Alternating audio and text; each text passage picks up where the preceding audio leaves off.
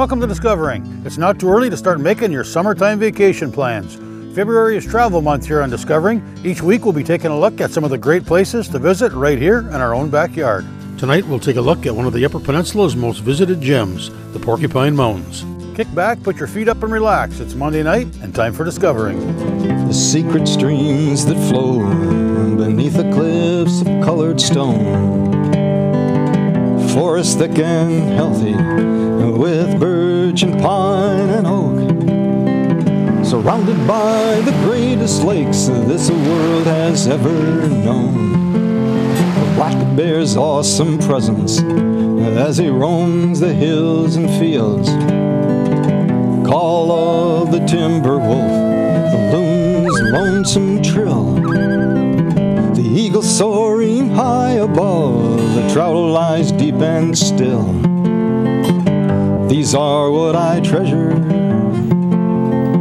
the only way I measure feelings that I have for this fine land. There is so much to discover when you're a long-time lover of northern Michigan.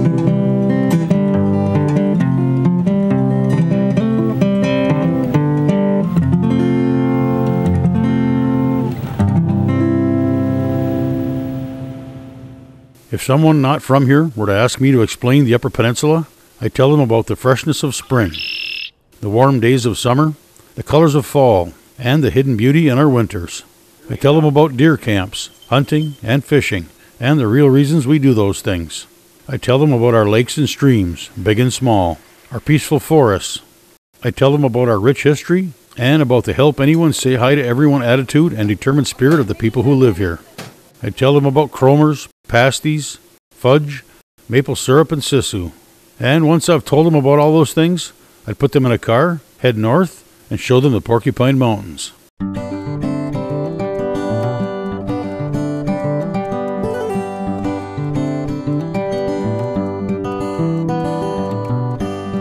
If you're not really familiar with the place, the, the Porcupine Mountains was designated a state park because of a, a, group of spirited citizens who really felt it was important to preserve the, the last large tract of forest area in the upper Midwest that hadn't been logged. So we've got 35,000 acres of old growth northern hardwoods. You get the big white pines out there, you got the hemlocks, you got a nice mix of hardwood trees. You can find big, you know, big old red oaks out there, big sugar maples, big yellow birches, and the forest cover out there is really beautiful. We constantly hear from visitors that, that they just didn't realize there was anything like this in the Midwest.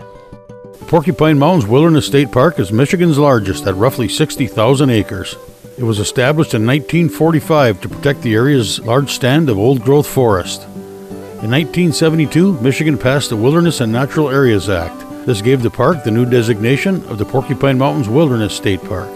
The park's lakes, rivers, and streams, Lake Superior shoreline, Waterfalls of all sizes and remarkable vistas make it one of the most unique destinations in the entire Midwest.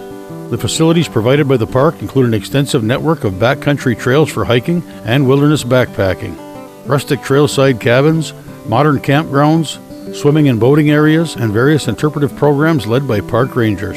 Any trip to the Porky should start out at the Visitor Center, located just a few miles west of Silver City along the South Boundary Road. The Porcupine Mountains, we've got over 90 miles of hiking trails. There are fantastic views. There's a lot of different hiking opportunity. You can hike on trails like the Escarpment Trail. So you've got big panoramic views. Uh, you know, you're on top of a three, 400 foot uh, escarpment with a sheer drop right alongside you. But yeah, we've got other trails that maybe you can hike along a, a, small quiet stream. You know, the Union Mine Interpretive Trail is a great one. Lots of little waterfalls and water slides. Or the Little Carp River Trail um, off the Little Carp River Road is another great one. You can hike along the Presque Isle River, you know, the beautiful Presque Isle. It's a uh, nationally recognized wild and scenic river, got waterfalls, it's surrounded by old growth forest. It's a, just a fantastic place to hike. You got the East and West River trails there to hike. You can hike into some of the lakes in the park, you know, take the hike from uh, Lake of the Clouds and go all the way down to the actual lake itself at Lake of the Clouds. Got a nice little uh, hill that you go down there and then you got to climb on your way back out or about two and a half miles if you want to hike in and see Mirror Lake or, you know, Lily Pond, some of those other more remote areas in the park. And, and a lot of the trails also uh, will take into the old growth of the park. We uh, often forget that, you know, that's why this place is actually a state park, is uh, to protect this large uh, example of a northern hardwoods old growth forest that we have. We've got about 35,000 acres of this old growth forest and it's, it's considered the largest example of an old growth northern hardwood forest and it's also considered one of the best examples of an old growth hardwood forest uh, in the region. So it's a great place to get out and hike amongst some of the giant trees and get some of the great scenery in there as well.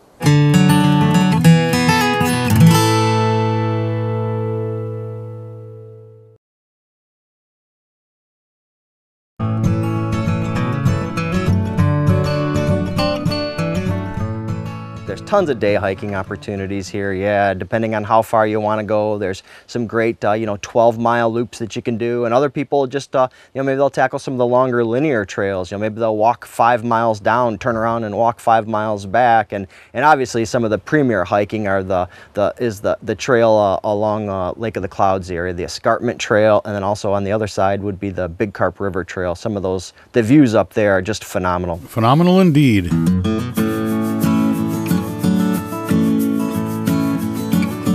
Short walk up the wooden walkway will deliver you to the escarpment and some of the most spectacular views in the park.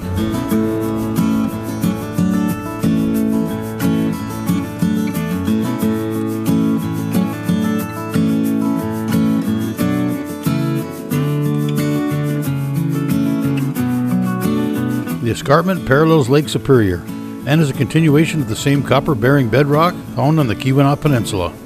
This massive outcropping overlooks the Carp River Valley and the most popular attraction in the park, Lake of the Clouds.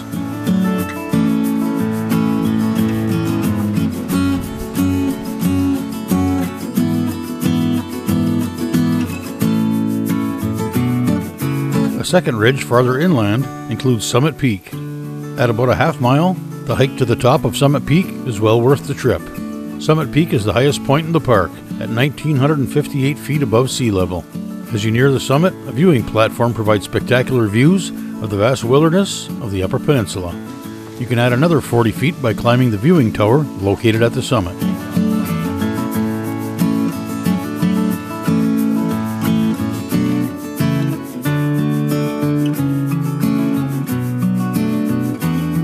The Porkies were the site of mining in the 19th century, Throughout the park, remnants of this bygone era can still be found. A short walk in from the south boundary road, you'll find the historic Nonesuch Mine, which operated on and off from 1867 to 1912. The area was given its name when a vein of copper was discovered in the Little Iron River in 1865. The copper was found in sandstone, and it was said that none such ore existed anywhere else in the copper country. There you'll also find Nonesuch Falls. Nonesuch Falls is one of the many waterfalls, both big and small, found throughout the park.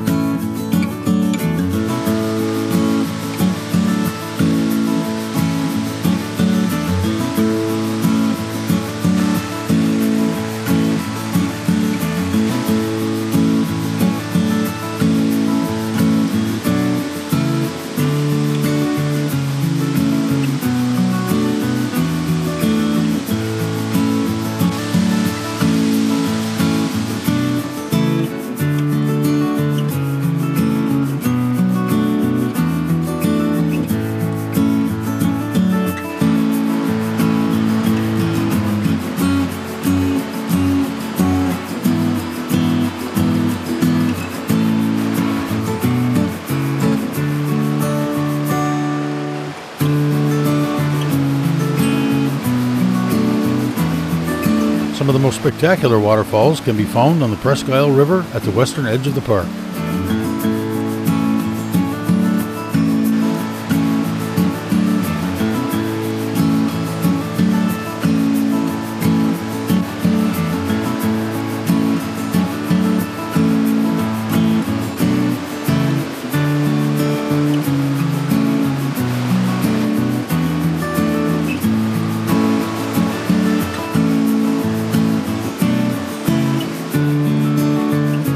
Hike along the well maintained walkways on the banks of the Presque Isle is sure not to disappoint.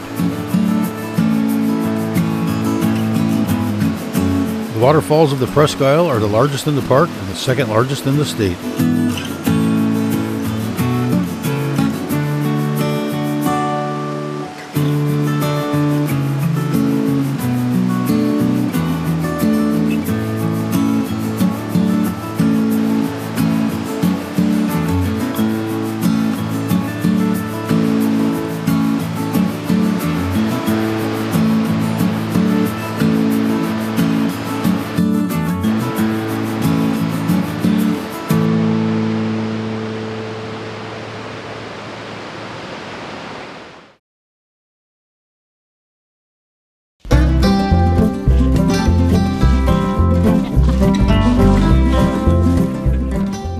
Got 17 different rustic cabins in the park. They're spread throughout the park. They, uh, they range in size from a two bunk, which uh, accommodates two people, all the way up in size to an eight bunk cabin. And some of these cabins are, uh, are, are, are are pretty old. Some of them got a lot of tradition associated with them. In fact, the uh, the Mirror Lake eight bunk cabin out on Mirror Lake is um, is the oldest park built cabin. That cabin was built in 1945 in the very early early years when the the park was actually established. So there's lots of different camping options here. You can go stay in a cabin. We've got backcountry camping, we've got modern camping, we've got rustic campsites, we've got four different yurts in the park. Lots of uh, lots of different options. We even have a modern lodge, which uh, sleeps uh, 12 people. It even comes with uh, linen service and uh, it's got uh, you know washing machines and everything. It's fully equipped. So there's from full range. No matter how rustic you want to be or don't want to be, we can accommodate. Most of the cabins require a hike, anywhere from a one to four mile hike in. The one exception is, uh, is our Gitchagumi cabin, which is uh, right along the shore of Lake Superior, and that's one that you can drive into. All the rest of them you do have to hike into, and four miles being about the furthest hike you'd have to go this time of year. That, that changes in the winter, because some of the cabins are open in the winter, and, uh, and as are all four of our yurts are, are all open in the winter, and some of them can be a little bit further to get to, a little bit more of an adventure in the winter. The closest cabins would be, well, Gitchagumi, the one that you can actually drive up to. And then there's a few others that are within a mile walking distance. Uh, Whitetail Cabin is a pretty popular one right on the shore of Lake Superior. Union River Cabin right on the Union River. Both of those are about a mile hike to get into. If you want a small little, a, a quaint little cabin, uh, our, our White Birch Cabin is also an easy little hike and kind of a nice secluded location on the eastern end of the park. These are rustic cabins, so they uh, we, we do equip them with pots and pans. There's plates, silverware, bowls, cups. There's even an old old-fashioned, you know, percolator style coffee maker in there. But you need to provide any any consumable items. So you need to, you know, bring your toilet paper with you. You need to provide lighting. There's a wood stove inside the cabin, but we don't recommend trying to cook on that because in the summertime it'd just be too hot in the cabin. So bring a little backpacker style camp stove with you. Bring something to uh, treat or filter the water that you're going to be, uh, you know, collecting from, you know, nearby water sources. There's, there's not water pumps at these cabins, so you have to treat surface water. So either boil it or filter it properly the cabins all have outhouses. So all of our rustic cabins cost $65 a night. Doesn't matter how many bunks that it has, and, and the yurts are the same price as well. And you can uh, you can make reservations for those as much as six months in advance from when you want to come visit the park. And you can make reservations right from our webpage. Go to michigan.gov slash porkies and click on the tab that says "Make a Reservation." And uh, yeah, get your reservation in because these cabins are pretty popular. When you get back into some of these cabins, there's a, there's a lot of solitude out there. You're, you're pretty far from any roads and you know any population centers, and I think that's what appeals to a lot of the people that come out here. It, yeah, we've only got the two roads in the park, South Boundary Road on the southern perimeter of the park, and then 107 that goes up to Lake of the Clouds. So when you're a place like Mirror Lake, you know you are more than two, three miles from the nearest road. So it's it's pretty quiet, it's pretty peaceful out there, and I, I think probably the thing that really seems to appeal to a lot of people nowadays in these busy, hectic lives lives that we have is just, you know, how, how it's a step back to a little simpler time. You know, you, you make some firewood and, you know, you kind of procure the stuff and you go out and you do your activities for the day. And yeah, it's a, it's a pretty special spot. I think you're going to really, uh, really enjoy it if you get a chance to get out and experience some of these cabins. One thing real appealing about the cabins is, is their location and, and the ability to use a cabin like, like a base camp. So you can hike all your, uh, your gear into your cabin, you know, stay for a few days and then get out and hike some of the trails in the park. So we've got 90 miles of hiking trails in the park. So it's a big place. The park's 60,000 acres in size and it's pretty hard to experience all of that, you know, at one time. But staying in a cabin or, you know, or a backcountry campsite really gives you that, that ability to, to really explore the backcountry of the park. So for example, like if you're staying at Mirror Lake, a, a great hike to do is you can, uh, you can hike down the correction line, you know, down to the Big Carp River Trail trail. And, uh, and if you've not ever seen that trail, it parallels the Big Carp River. It's got a lot of waterfalls on there. It's a great fishing river. And if you're, you're really adventurous, maybe you'll want to hike as far as Shining Cloud Falls, which is, uh, which is definitely one of the premier uh, interior waterfalls that we have in the park. So there's a lot of opportunity, a lot of great uh, hiking opportunity, fishing opportunity, a lot of just great recreation opportunity here. Some of our cabins are open all year round. All four of our yurts are open year round. And then the remaining cabins are open seasonally. And that season, especially in the spring, kind of fluctuates, you know, from the time when South Boundary Road melts back and gets opened up. Usually around the beginning of May is the earliest that you can, uh, you can check in and, and make a reservation for one of these cabins up until the end of deer season. So they're open through the end of November. When you're staying in the cabins, you know, the, the, the protocol is that you, you clean up after yourself. So leave the place either as clean or cleaner than what you find it. So that means packing out, you know, all the garbage and stuff that you brought. And if you find stuff along the way, boy, it, it sure goes a long way if everybody picks up a little piece of garbage here and there. It really helps keep this park nice and clean. So we got a lot of backpackers in the park. We got 90 miles of hiking trails through the park. And if you camp at one of the established backcountry campsites in the park, the, uh, the campsites are equipped with a metal fire ring, so you can have a, a ground fire there. If you're camping off-site, um, no fire is allowed. So fire is only in the designated metal fire rings. And then if you're backcountry camping also at one of those designated sites, then there's going to be a bear pole that you can uh, secure all your scented items in. So your food, you know, if you bring toothpaste, things like that, make sure all that goes in a, in a special bag and that you hoist it up into one of these bear poles in the evening hours and overnight. So some of the cabins in the park are, are on inland lakes. So we've got our Lake of the Clouds cabin. So on our map, we got Lake of the Clouds here. Right on Lake of the Clouds, there's a cabin nestled on Lake of the Clouds. We've got three cabins that are on Mirror Lake and one cabin that's on Lily Pond. All of those cabins all come equipped with uh, either a boat and or a canoe so that you can get out and you can fish those lakes that, uh, that you're standing right out, you know, you're camping right in front of. The, the cabins are uh, equipped with the, uh, the appropriate uh, PFDs and, and paddles and or oars.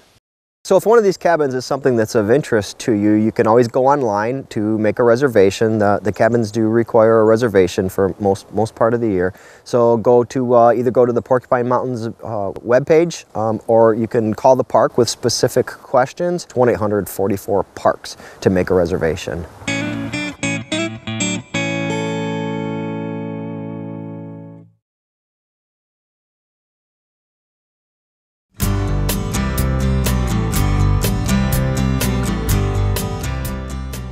Can hike into some of these cabins in the, in the fall if you want to, you know, try your hand at deer hunting here in the park. It, uh, it definitely is a, a, unique opportunity for a lot of people because they know they're going to get a certain experience. They're coming more to find solitude.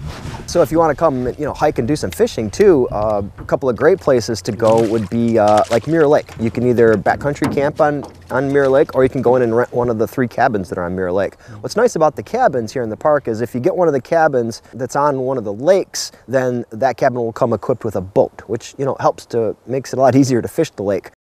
There's a lot of different fishing opportunities in the parks, and, and, in some cases there are some special regulations that you need to know about. For example, Lake of the Clouds, uh, no live bait allowed on Lake of the Clouds, uh, so it's uh, artificial lures only. And that lake is, is loaded with smallmouth bass, uh, but it is catch and release only on the smallmouth bass. If you catch panfish, you can you can keep the panfish in Lake of the Clouds. Whereas Mirror Lake, Mirror Lake's a trout lake. It's deeper and it's uh, it's got lots of trout in there, so that one just falls under the typical Michigan uh, regulations for for trout lake. Then there's lots of trout streams in the park that's all got a lot of the native brook trout in them. We've got uh, several rivers in the park that get salmon or steelhead runs in them in the spring and or fall. And, uh, and plus, a lot of people in the park will fish offshore, you know, just fish the big water, Lake Superior, the shore of Lake Superior from the, the rocky shores and catch anything from lake trout to steelhead. And, oh, I'm sure some people probably catch some whitefish and, and various other fish, coho.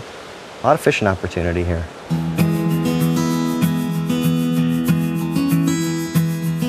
Taking a vacation simply means time away from normal day to day activities, and it's a lot more about where you go than how far you travel to get there.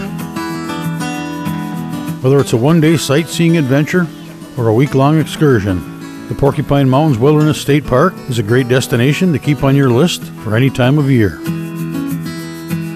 Through the different seasons are, is, is a great way to see the park. You know, the spring, um, especially uh, you know, before all the, the vegetation starts to green up in the forest is a really neat time to be out, out there. You can see some of the early spring flowers, the spring ephemerals. Then, uh, you know, when the leaves start to pop, that tends to coincide with maybe when some of the, the biting insects start to come out. But the rivers tend to be high that time of year. Um, the trails do tend to be a little bit muddy, so just, uh, you know, wear appropriate footwear. In the summertime, that's when our trails tend to be the driest, uh, but probably also the most heavily used. So if you're coming in the summer, especially if you're around any of the busy weekends, um, you know, you're gonna have to work hard to get some solitude in the park, but you'll be able to find it, you know, like some of the more remote areas, uh, you know, maybe like the area around uh, Lost Lake is a great area to go if you're looking to uh, stay, you know, avoid the crowds. And then when you get here in the fall, obviously the weather starts cooling off, trails get a little bit more wet again, but then you get the fall color and you, you know, you get some of the just the, you know, really great views. Take a drive, hike, or drive and hike. A fall color tour is a very simple but very rewarding way to spend some time in the Porkies.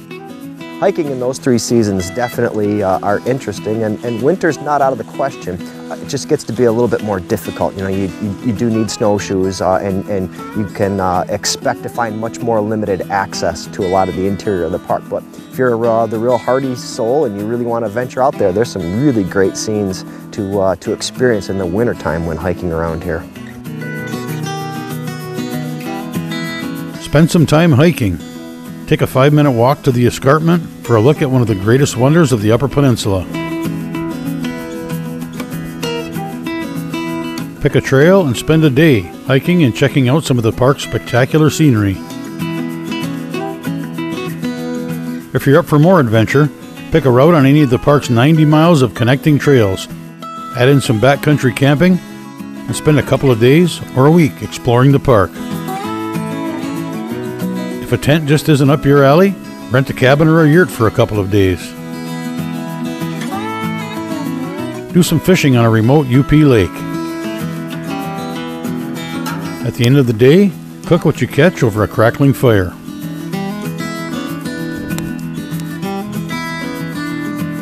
Whatever your quest for adventure, short or long, simple or hardcore, there's a pretty good chance you'll find what you're looking for right here in the Porkies right here in our own backyard.